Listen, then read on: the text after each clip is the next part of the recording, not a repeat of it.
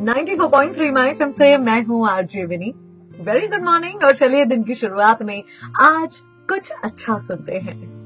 कहानी सुनते हैं एक गुरु जी की। आपने नॉर्मली नोटिस करा होगा कि हर व्यक्ति को गुस्सा आता है, नाराज़ होते हैं, चिड़चिड़ाते हैं।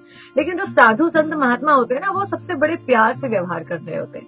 ऐसे ही एक गुरु थे और उनका एक शिष्य था, जिसे बात बात पर बहुत गुस्सा आता था, बहुत झुंझलाता था, चिड़चिड़ाता था।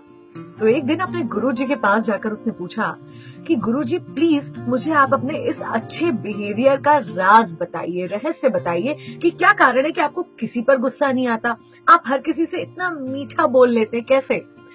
तो गुरु जी ने कहा कि मुझे मेरे व्यवहार का राज तो नहीं पता, लेकिन मुझे तुम्हारा एक राज पता है। तो शिष्य ने कहा, कौन सा राज पता है आपको? तो गुरु जी ने कहा, मुझे ये पता है कि अगले सात दिनों में तुम्हारी मृत्यु होने वाली है। तुम दुनिया को छोड़कर जाने वाले हो।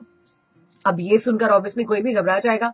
वो घबराया, लेकिन उसने खुद को संभाला। गुरु जी का आशीर्वाद लिया और वहाँ से चला गया। जब वो बाहर निकला तो बिल्कुल एक बदला हुआ इंसान था। हर किसी से बहुत अच्छे से प्रेम से बात कर रहा था। लोगों से ये भी कह रहा था कि अगर मैंने कभी आपका दिल दुखाया हो या बुरा व्यवहार किया हो तो प्लीज़ मुझे माफ़ कर देना।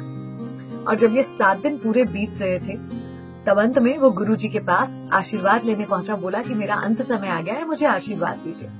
तो गुरु जी ने कहा, ये बताओ कि पिछले सात दिन कैसे गुजरे तुम्हारे? तो उसने कहा, बहुत अच्छे गुजरे। गुरु जी ने पूछा, गुस्सा आया? तो उसने कहा, नहीं, मैं क्यों गुस्सा करूँगा? मुझे पता था मेरे पास सिर्फ़ सात दिन है।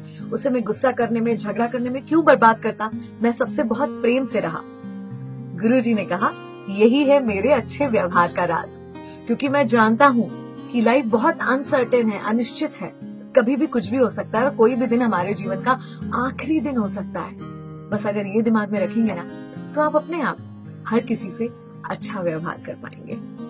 इस सोच के साथ दिन की शुरुआत कीजिए 94.3 माई पर अच्छा सुनते रहिए। जियो, दिल से।